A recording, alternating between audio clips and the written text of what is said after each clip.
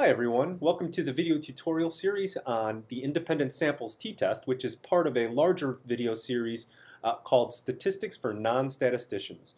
My name is Chris Lam and I'm a professor of technical communication uh, here to present statistical information in a way that's easy to understand uh, and, and simple to use and apply. Um, there's even a sample data set that'll go along with each video uh, that you can use as we talk about the different uh, parts of the independent sample t-test. Uh, so let's get started. I want to really quickly introduce uh, this method that I've come up with called the DEAR method. Um, and it stands for define, example, apply, and report. And really the idea is um, for uh, us to walk through um, these four areas of the t-test. Um, and hopefully by doing that, it'll give uh, novices and beginners um, just enough context to really understand and apply uh, the t-test to their own uh, work, whatever that may be. Um, and so the idea of these videos is much less about theory, much less, less about the actual math itself, although we will talk about those things a little bit, um, and much more about applying um, t-tests to particular contexts. Okay, so with all that said, let's start with the D, define. Um, so let's define t-test really quickly. Um, there are three major types of t-tests. Um, the first is what's called an independent samples t-test, and that's the one we'll focus on today. Um, and the definition of that is it compares the mean, or the average, of two independent populations. And I think the best way to sort of understand uh, definitions is to, to walk through a quick example. So a quick example of an independent samples t-test might be is there a mean difference in SAT scores between freshman and sophomore students? Right, and so we're comparing the average score between two independent populations. And in our case, our independent populations are freshmen and sophomore students. Um, the other thing to note is when, when we're talking about t-tests, the, the dependent variable or the outcome variable, the variable in which we're testing um, between the two populations, must be what's called a continuous variable. Um, and the easiest way to know if this is a continuous variable is if it's a number, right? So SAT scores are measured as a number. Um, we know that we've got a continuous dependent variable. Okay, so that's the first type of t-test. The second type of t-test is called the repeated measures t-test or the paired samples t-test. And this is when you've got one group of people, one population, and you're testing them more than once. You're testing them over time. Um, and so an example of that is if a group of people are given a medication for high cholesterol, does their average cholesterol levels decrease after one month? So we take a we take their cholesterol level before we give them the medicine. We give them the, the same people the medicine, and then we test them again a month later. Um, and so that's an example of the paired samples t-test. And then finally, the one sample t-test. And this is used to compare a sample mean with a known population uh, or some other meaningful fixed value. And we really would use a one sample t-test only if we're looking at something that's highly studied, right? There's lots of data about it. So for example, does the class of 2015 uh, at a particular high school or college have higher or lower SAT scores than the SAT scores of all students across America, right? And so we're comparing one population with an already set number, a number that already exists. Okay, so those are the three types of t-tests. Today we're going to focus uh, more specifically on the independent samples t-test. And so just as a visual representation, we're looking at comparing two means, right? Two averages for two populations. And so here's a visual representation of what that might look like um, if we're looking at a distribution of two populations. And so what we see here is at the peak is our average um, for this population in red, and the peak here is our average for this population in blue. And the independent samples t-test tells us, is this gap between the two averages, between the two means, significant? Right, so is this group, the one in red, actually significant, significantly greater than this group in blue?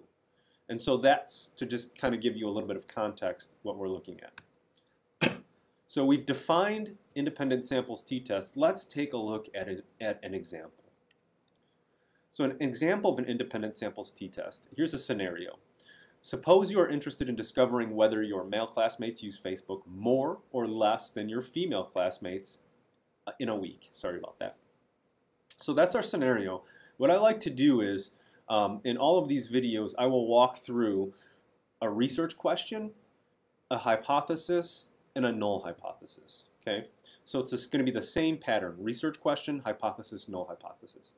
So our research question might be: Do males use Facebook more or less than females? Right. So do males use Facebook more or less than females? Our hypothesis might be, or I'm sorry, our null hypothesis might be um, there is no relationship between gender and Facebook usage. So our null hypothesis is males and females, the average uh, usage will be equal. Not literally equal, but not significantly different. So um, that's our null hypothesis. There's no relationship between gender and Facebook usage.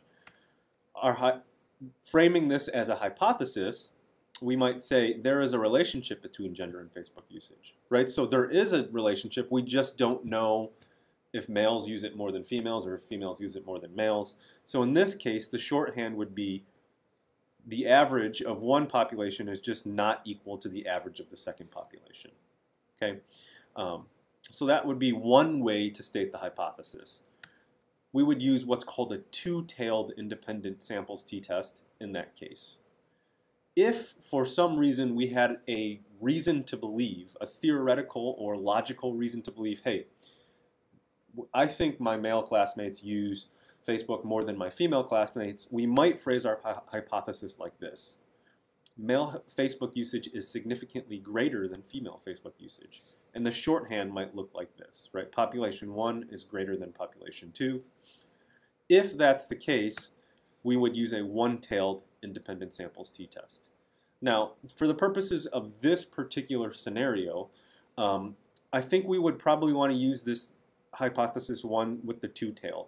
Because there really is no theoretical or logical reason for us to just say one gender would use it more than another.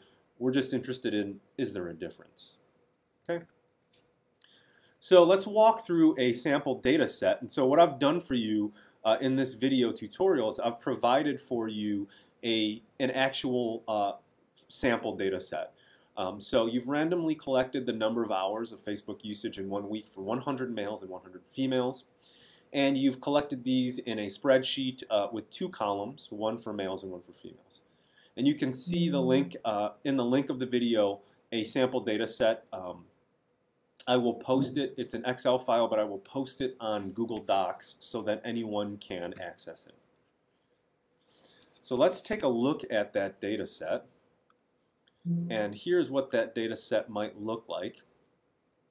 Uh, and what we're seeing here is, again, two columns. So just male Facebook usage in column A, female Facebook usage in column B, um, and for each participant, just the number of hours per week. Okay, so it's just 100 numbers for each. Okay, and so again, you'll have access to that sample data set. The next thing we'll do, now that we have our scenario or example, um, is we will apply uh, and actually walk through the process of running a t-test. So apply, let's apply our independent samples t-test. Um, a couple things I want to, to cover. Um, one, we're just going to assume that our data meets all of the assumptions. Um, I will have a separate video on assumptions uh, and, and testing assumptions, but we're just going to assume that our data meets the assumptions. And the second thing we would need to do is uh, choose a software that can perform a t-test. Um, and so we can choose software that costs money. So that's, for example, SPSS, Excel, um, SAS, or Stata. Or we can choose a free option, uh, which is the internet. And that's the one that I prefer. So what I've got here, and I'll also post it in the link of the video, uh, in the description of the video, is a link to um, a, a really just a really easy to use t-test calculator that you can use on the internet and all you need is internet connection. Um, so let's go to that site right now and as you can see um, this is the interface that you'll see. Uh, for our example we want to enter or paste up to 2,000 rows because we've got 100 uh, 100 samples of each uh, population. So we need, would need more than 50. Um, group 1 we're going to just call males, and group 2 we'll call females. And all you have to do then is to literally just go into your uh, spreadsheet, however you've collected your data or in the sample spreadsheet, um, and paste it into population 1, which is males, and population 2, which is females. So let's do that. Um, we're going to use an unpaired t-test, which is also another way to call an independent samples t-test, and all we have to do is click Calculate Now. And we get a uh, really easy to sort of uh, read output. And so what I want to do now is I just want to walk through this output. So to do that, um, let's go back here and let's interpret the results. So what are the steps to interpret the results? The first step is to examine the descriptive statistics. So these are statistics that are just describing our populations, thus descriptive. And these are typically the mean and standard deviation. You can take a look at another video that I've made on descriptive versus inferential statistics. Um, and I will explain in more detail uh, what these are.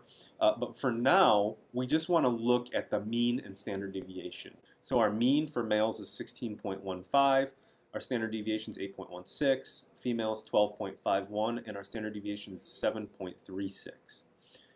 And what we'll do then is we will take a look at the means and standard deviations, and those are right there. Um, so the thing about these is you're probably wondering, well, clearly males use uh, use Facebook more than females, right? Almost four hours more per week. Um, so why would we need to do a t-test if we are, if we can just see the averages? Well, the idea here is the t-test allows us to test and find out is this difference actually significant. Um, and so to do that, the second thing we need to do is we need to examine the significance level, also known as the p-value. Okay, And significance level is a level that is set, preset, and the most typical, typically used um, value is 0.05, right? So a p-value of 0.05 is considered significant. And so to sort of put that into lay terms, we can interpret p-value by saying if we get a p-value of, of smaller than 0.05, less than 0.05, we can say there's less than a 5% chance that the difference between the two means, that the difference between males and females on Facebook usage is due to chance, right? So it's not just random that the males, uh, if we get a significant result, it's not just random that the males used Facebook more than females, right?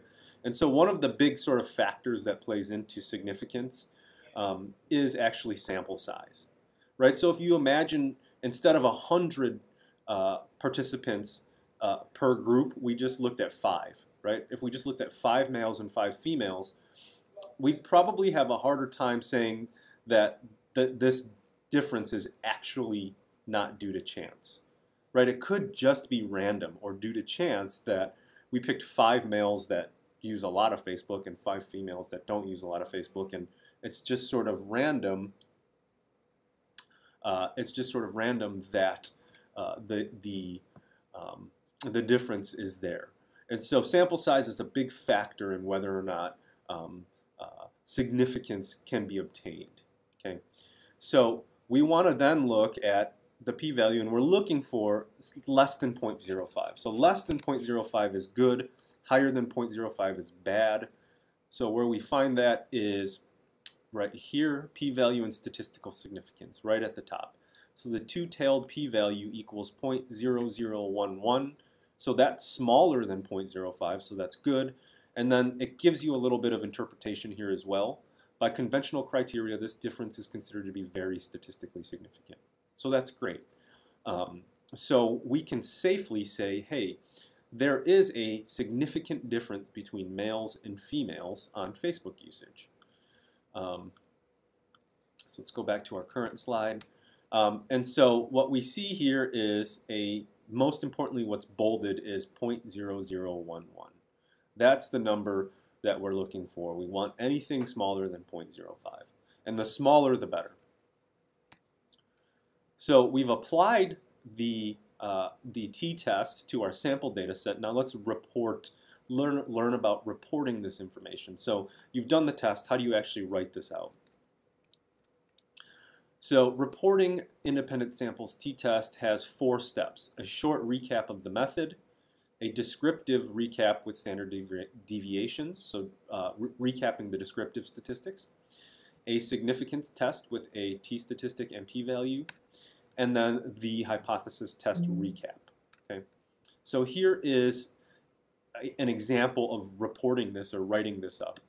200 randomly sampled students were asked how many hours a week they spend on Facebook, so that's our short recap of the method. An independent samples t-test revealed that males uh, mean of 16.15, standard deviation of 8.16, uh, spent significantly more time than females, uh, mean of 12.51, standard deviation of 7.36. That's our descriptive recap on Facebook per week. And then our significance test with our t-statistic, t equals 3.3123 with the p-value of 0.0011. Okay, um, so that's steps one through three. And then we can also do step four by saying, therefore, the null hypothesis was rejected and hypothesis one was confirmed. Right? And just to, as a reminder, the null hypothesis is gender uh, and Facebook usage have no relationship. Well, this proves that they do have a relationship, and in fact, the relationship is that if you are a male, you will spend significantly more time than a female on Facebook usage. And again, just as a reminder, th this is sample fake data. data. This isn't true. Um, I just made up the data. So finally, let's close out with what we know and what we don't know. So what does statistical significance actually tell us? Well, we know that males significantly spend more time on Facebook than females in this particular sample data set. But we don't know how significant this difference actually is.